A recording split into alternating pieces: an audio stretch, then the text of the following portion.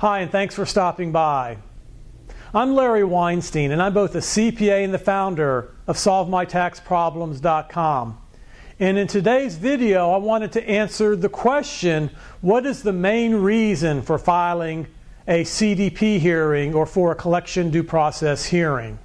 The reason for that is simple. The reason that we typically file a Form 12153 request for a collection due process hearing is that by filing for the collection due process hearing, if we file it within 30 days of the date of the letter, then it officially uh, stalls the IRS collection efforts.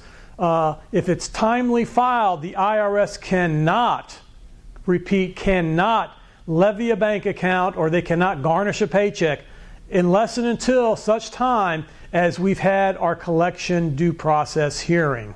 So that's a very powerful tool that taxpayers have is the main reason for doing the collection due process hearing is to stall out the, co- the collection activity of the IRS. Now, you're not going to stall it out completely and forever. It's going to give you a little bit of time so that you can put a solution into place.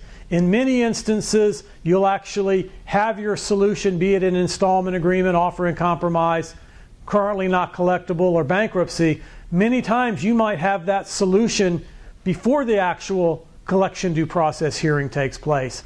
In some instances, when you actually have your hearing, that's when you present all of your paperwork and you try to get your IRS solution in place. So that's answering pretty much why you would file for a collection due process hearing by completing a form 12153. Thanks for watching today and look forward to hearing from you soon.